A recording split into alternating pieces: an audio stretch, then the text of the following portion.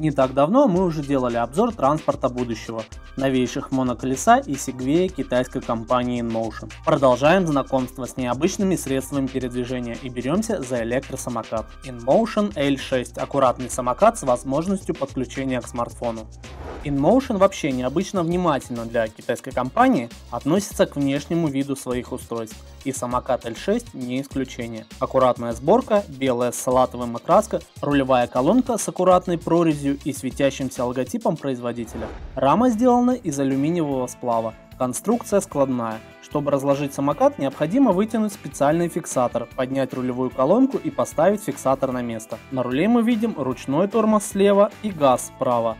Тут же возле язычка газа находятся кнопки включения и круиз-контроля, позволяющие фиксировать скорость. По центру экран с основной информацией, скорость, заряд батареи, подключение к смартфону. Амортизаторы есть и на переднем, и на задних колесах. Электродвигатель расположен по центру, под площадкой для ног. Здесь же находится интерфейс для его зарядки. Используется стандартная сеть на 220 вольт. Весит InMotion L6 16 кг, и это ключевой его недостаток, наряду с ценой.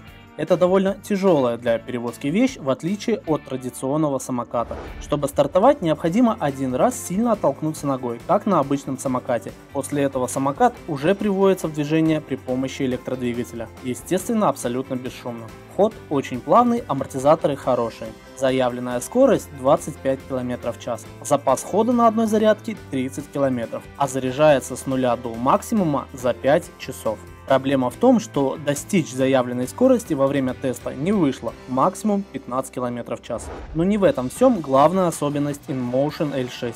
По ходовым качествам это вполне обычный электросамокат. Работа со смартфоном на основе iOS или Android, то без чего сейчас не обходится почти ничто. И как мы видим, транспортные средства тоже. Подключается смартфон к самокату по Bluetooth. Приложение позволяет управлять базовыми настройками. Например, скоростью мы пытались заставить самокат выжить заявленные 25 км в час, но опять не вышло. На экран выводится текущее состояние самоката.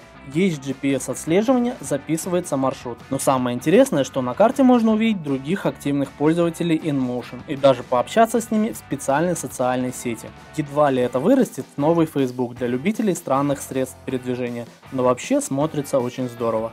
Так и выглядит будущее, пусть и на экране смартфона. Пишите в комментариях, какие необычные средства передвижения используете вы. Ну и конечно, подписывайтесь на наш канал, чтобы не пропустить новые видео.